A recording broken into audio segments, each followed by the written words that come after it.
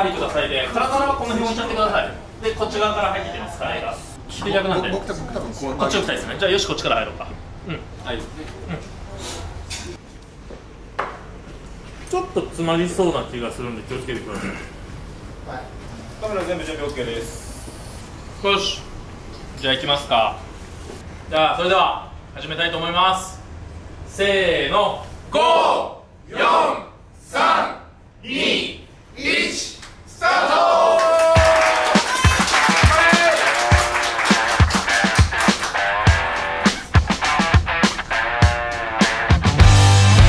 魂のぶつかり合い。初心に帰らせてもらえる場所。闘争心を100%表現できる場所だと。生きがいみたいな感じですかね。非常に拙者は楽しんでおる。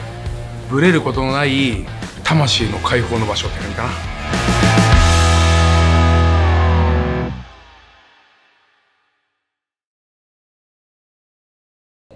いきますよ。心の準備よろしいでしょうか？はい。せーのグーチョキパー。お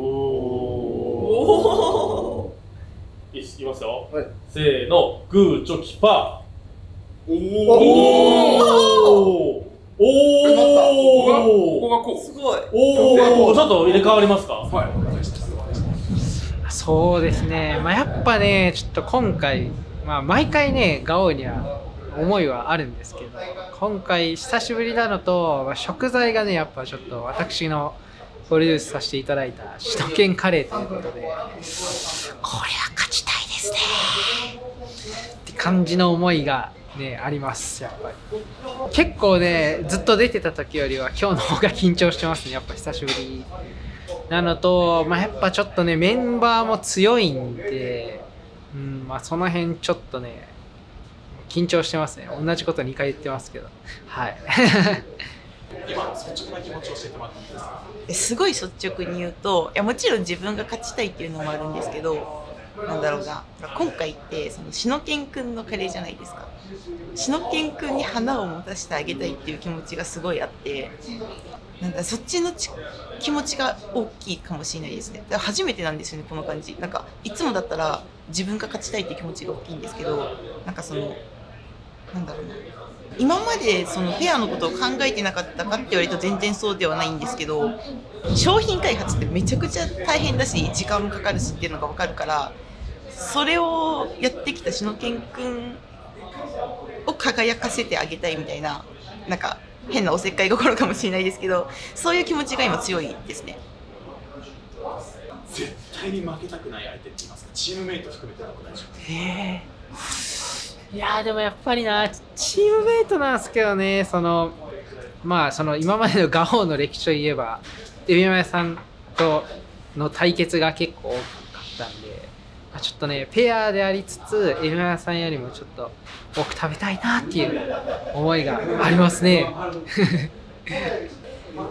いや絶対に負けたくはない相手は、いやこれはね本当毎回聞かれるし毎回私も考えるんですけどやっぱり結局自分なんですよね周りがどれだけ食べてるとかってあんま関係なくって結局自分のその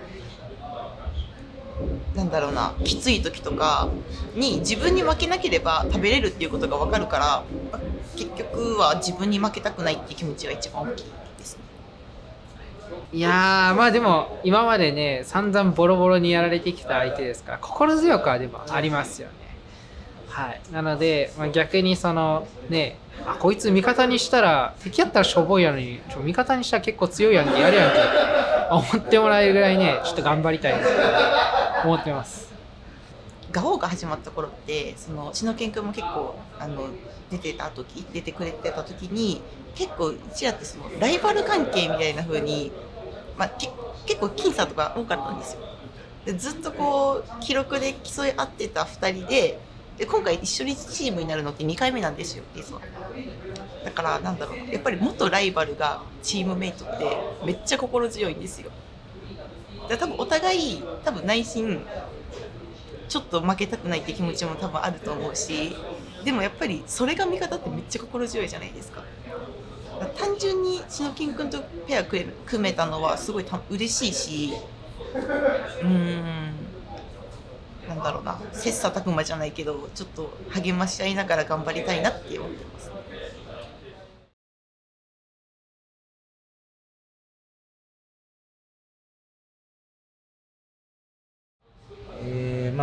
回もちろん、あの優勝を目指して頑張って、まあ、それなりの、まあ、練習とかしてくるんですけど、まあ、今回も、まあ、できる限りのことは本当このガオに向けて、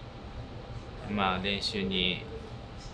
えーまあ、時間を捧げてきたので、うん、まあ今回チーム戦ということで、まあ、相方にもまあ迷惑かけたくないですし、えーまあ個人としてでもまあ優勝を目指してまあ頑張りたいと思ってます。難しいな。こたびのガオをどう感じておるか。うん。毎回思うのは毎回勝つとは思っておるか。勝つ。絶対に負けたくない相手。やっぱりエビマヨさんですかね。最近勝ててないのでちょっと今回は勝ちたいですね。うん全員だな。その理由をお伺いしてもよろしいです。かやはり天下統一を目指しておるからな。誰にも負けたくはない。あーでも毎回本当にすごい食べられる方なのでまあすごいなって思ってます。そうだケンちゃん殿は久しぶりにチームになるんだがうんかなり食べれると思っておるこたびは心強い味方になったなと拙者は思っておる。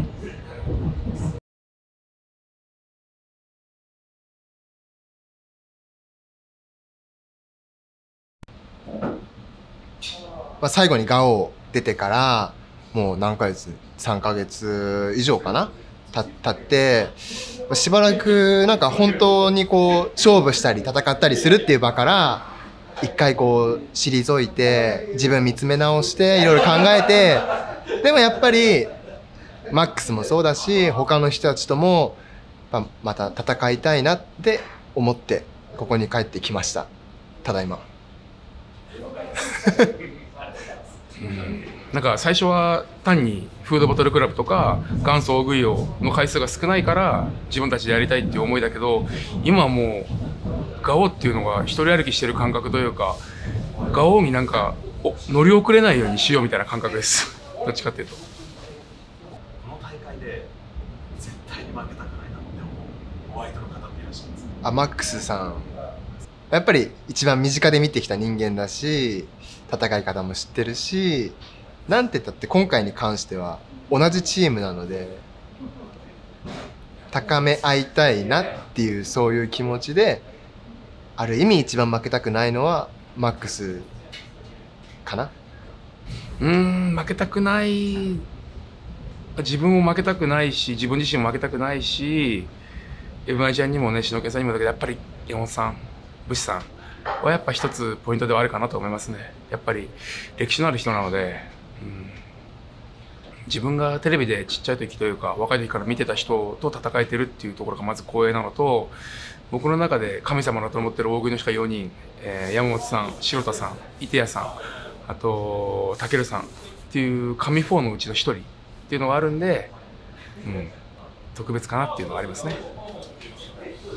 じゃんけんをして、はい。チームメイトが決まった時、はい。マックスさんが決まった時どういうお気持ちでした？あやっぱ彼しかいないのかと。僕を支えてくれる戦って一緒に戦ってくれるのはやはり大食いの神はこの2人しかいないんだと。そう指し示しているかのような感じでしたね。もう言ったら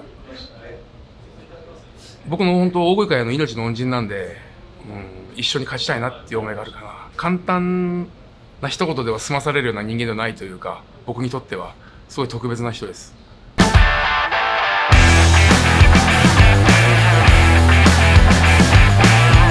この「ガオー」というものに関してはいろいろやっぱ意見があって、まあ、食べ方の問題だったり日本だったらまあ言われて当然なんですけれども